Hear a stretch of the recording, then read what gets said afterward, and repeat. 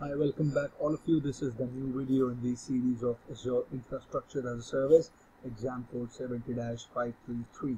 In this video, we will learn what is a block blob and a page blob in Azure Storage. If you guys remember, we created the storage account in the previous video. We will again create a storage account and that is, we'll select V2 and I'll show you how to create a container and what is a block blob and a page blob let me just quickly log on to Azure portal and then we'll continue. Okay so I'm in the portal right now. Let me just quickly create a storage account.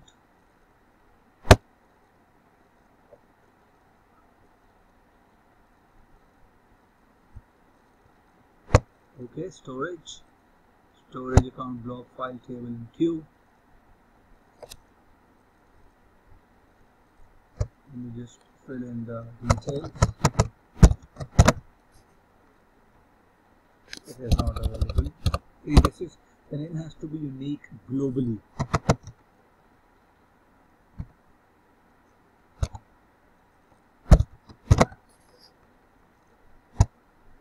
I'm going to select V2 location would be Central India.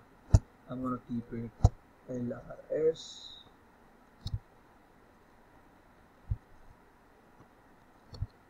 XSTL it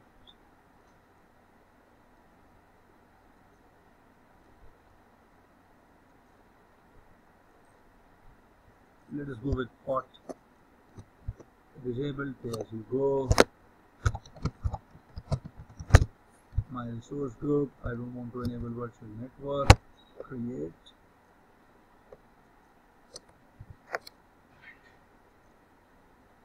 And let it create and I'll come back. Okay my resource account is created. So let me just scroll down a bit and see you see a blob service here containers CORS custom domain a lot of other features. So let us stick to the containers option for this video.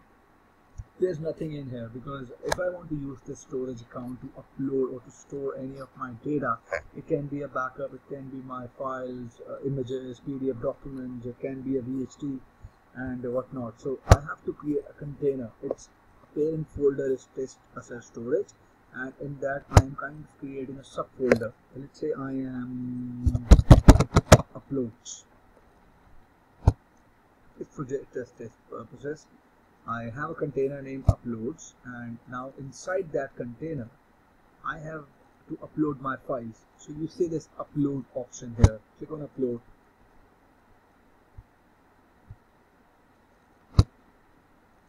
So when you uh, click on the advanced option it'll give you an option to for the block type.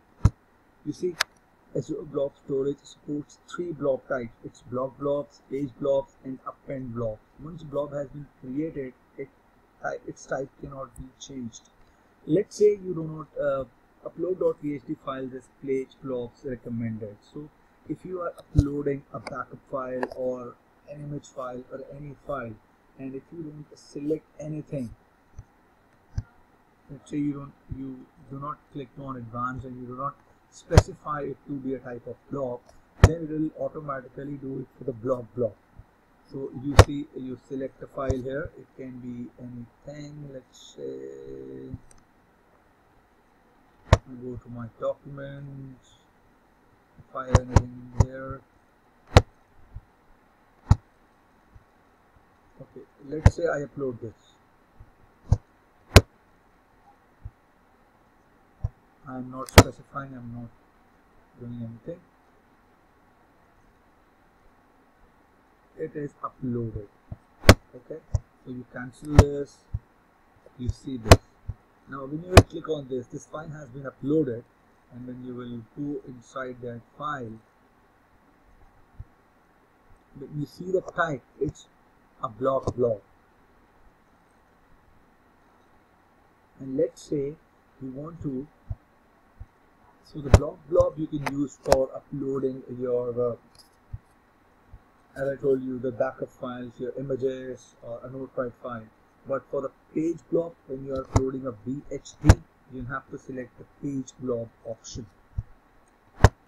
So a blob blob, as I told you, you can use it for images or a backup file because a blob can contain multiple sub blobs as well. So a, a single blob can be of 100 MBs, a few KBs, and there can be a file which consists of multiple blobs, and all of the, those blobs can be of random sizes. It's, the size is not specific.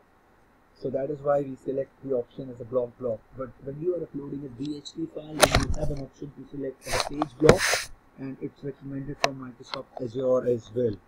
So here you go whenever you are uploading a file. Let's say I do not click on advanced option I and I select a file.